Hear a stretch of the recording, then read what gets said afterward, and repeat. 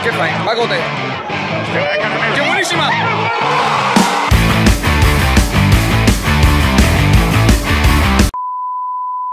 ¿Qué dijo? No sé qué dice, no sé qué dice.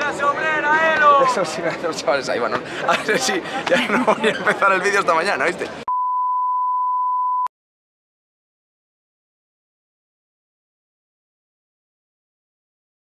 El 6 estaba sufriendo el Sporting.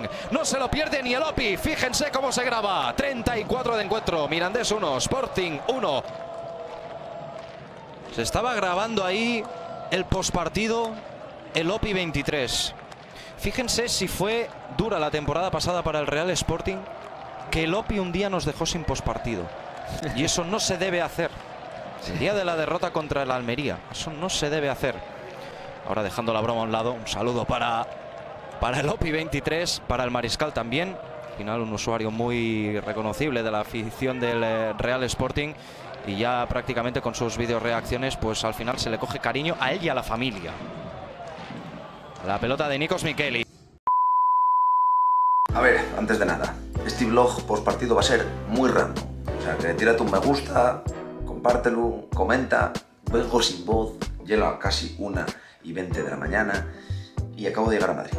Venga, vamos a, vamos a ver qué hacemos con todo, con todo lo que tengo grabado. ¿Qué pasa, manes? Yo soy Lopi 23 Bienvenidos a un nuevo vídeo. Estamos en Andúba, primer post partido de la temporada. 1-1 empatamos. Empate que casi fue victoria. O sea, tuvimos el 1-2, pero el VAR nos lo jodió. No vi la jugada repetida, no sé si fue fuera juego o no. A ver, Peña, yo intentar, intenté grabar el post partido en Andúba para que quedase más bien chingadero, ¿no? Profesional, algo guapo, pero aquello era imposible. Era imposible. La Peña no paraba de pegar voces, que si clase obrera, que si un vaso, que si pates y polla en cuanto. En fin, un auténtico desastre. Pero bueno, la cuestión, empate. ¿Qué dijeron? No sé qué dijo, ¿qué dijo? Que pidas matrimonio. Que me lo pida ella, joder. Hacía un calor de locos, ¿eh? Hacía un calor allí que estábamos deshidratados. A ver qué miras. Entonces, bueno, vamos a hacer el postpartido un poco diferente. Haré un combo que no sé ni cómo quedará, pero bueno, vamos a ver. En resumen, me gustó, me gustó el partido. Hay que, tiene que ir rodando la máquina. El partido, pues guay, chavales. ¿Qué queréis que os diga? Empatamos, empezamos perdiendo, incluso llegamos a remontar y ponernos 1-2. El problema fue pues que el gol lo anuló el VAR por muy poco, o sea, por muy poco. mm, Yo no vi la jugada repetida, díjome mi papá que lo llamé, que serían dos dedos, como mucho. Entonces, bueno, y que encima el tiro cámara era una puta mierda. Pero bueno, no vamos a decir lo clásico de qué fácil de pitar al Sporting, siempre igual, ya empezamos. por cero. El árbitro nos jodió porque todas las putas decisiones, yo no sé cómo era, era falta nuestra o amarilla para nosotros, pero ellos ni una puta amarilla ni. Bueno, si sacaron ni una a uno que levantó a Insua, que quedaba Yuca solo, cortaron nosotros gol. Pero bueno, no voy a meterme a llorar ya tan pronto con lo de qué fácil y el Sporting, qué fácil y pitanos, etcétera, etcétera. Porque luego, otra cosa también relacionada con el arbitraje fue la putísima masacre de hostias que metieron los del Mirandés con el Sporting. Y ahí, les tarjetes, yo solo sé que el Cali, el pobre hombre, entró en la segunda parte y no había pitado el árbitro al inicio y ya tenía amarilla. Venga, hombre, la vara de medir tuvo muy descompensada. Sí que es cierto que la primera parte fue bastante horrible, fue bastante mala. Mm, Sí, tuvimos un mano a mano de Yuca, hubo alguna jugada ahí un poco tal, pero fue muy mala lo que... Te vas a la constipa. Constipos el gato aquí, ¿oíste? Constipos el gato. Lo que os comentaba, en la primera parte alguna ocasión tuvimos, pero para mí el dominio tuvieron los ellos. Con el dorsal número 7, Nico Serrano creo que se llamaba, que nos abrazaba, sitio parecía Messi. Y luego, pues claro, el centro del campo, José Grajera y Pedro no acababan de carburar. Bueno, luego la segunda parte sí que espabilamos un poco más y para mí, para mí, pudimos llevarnos los tres puntos.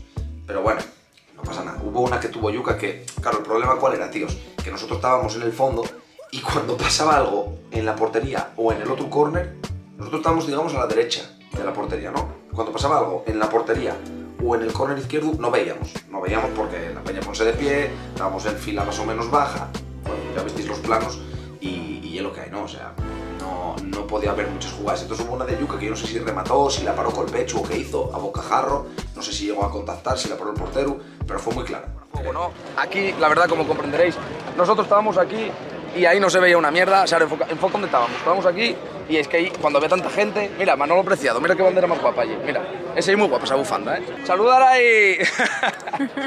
putada, una putada porque tenemos el partido ganado y una putada, pero bueno. Una jugada muy buena de Otero que entró por la, por la banda y golpeó, hizo buena estira aparentemente el portero rival. A ver, hubo cosines, hubo cosines. Tal vez una de las peores eh, cosas que pasaron hoy fue que Cote no acabó el partido. Yo creo que cuando pegó al, al balón en una jugada, no me acuerdo, creo que fue en un centro, mancóse en el gemelo, o lo subió si el gemelo, algo pasó ahí. Entonces, bueno. Calvo. Calvo. Bueno, no me digas eso, joder. Y del partido poco más que añadir, Peña. Eh, ya os digo, no lo pude tampoco ver muy, muy, muy de locos porque estábamos allí, una pila peña de la hostia, un jaleo de la Virgen. Este campo no es el mejor para verlo porque estás en un fondo y aparte estás muy bajo y muy cerca de la portería que no ves lo que pasa casi en el área. O sea, un poquitín putada el, andamio de Andúba. Pero bueno, aún así, está a años luz del andamio de Fuenlabrada, por ejemplo, ¿eh? Vamos a matizarlo, vamos a matizarlo. Eh, hablando de Fuenlabrada, ahora mismo estoy grabando esto desde un hotel en Getafe, que mañana voy a la Warner. O sea que, bueno, increíble. Metíme hoy eh, casi 700 kilómetros en coche. Bajamos de Asturias hasta Miranda de Ebro y de Miranda de Ebro... Chavales, ya lo veis, empate, agridulce, tuvimos ese gol ahí que nos jodió, pero bueno, al final la experiencia tuvo bien como jornada 1, era remontada, era histórico, era histórico. Es que no, paren de gritar por ahí atrás y no me concentro, ¿entiendes? El vlog del viaje lo tendréis en principio el martes, básicamente porque esto lo estaréis, espero, viendo de domingo, porque yo ahora acabaré esto, me pondré a editar y lo tendréis para el domingo en principio, y el vlog lo tendréis el martes, el vlog del viaje, porque pues eh, el lunes vuelvo a Asturias, lo editaré el lunes de noche y el martes por la tarde lo tendréis. Oye, yo puedo conducir, editar y hacerlo toda la vez. Sarina, te voy a enseñar a editar vídeos. Si me gusta, ya está. Lo que hay, ¿me entiendes? Hay, hay que diversificar el trabajo. Volver a agradecer el, el cariño en la grada fue una locura, no sé cuantísimas fotos, la peña allí pegando voces, o sea, pasélo muy bien en verdad, porque con los de Twitter, con los de, Twitch y eso, parece que os vais ahí metiendo a tope con la movida y, y me mola, me mola, tuvo guay, pasélo muy bien, la verdad, pasélo muy bien, de puto chill. Poco más que añadir, gente. Si podéis, si queréis, dejáis un like, comentáis, tenéis mis redes sociales por si me queréis seguir y yo nada, ahora voy para cama del tirón porque estoy reventado, o sea, reventado, pero reventado. Perdón, perdón, este, este el que cierra el campo, mira, este, este el que va a echarles llaves hoy aquí en Andúba. Eh, Compañeros, dejar like, ya os haré otro partido mejor, pero esto quería hacerlo. Mira, ahí lo tienes, ahí lo tienes. El único extranjero puto polaco. Puto polaco, y el puto polaco, sí señor, ahí lo tienes. Venga, marchamos. Muchas gracias. Venga. Vémonos, chao.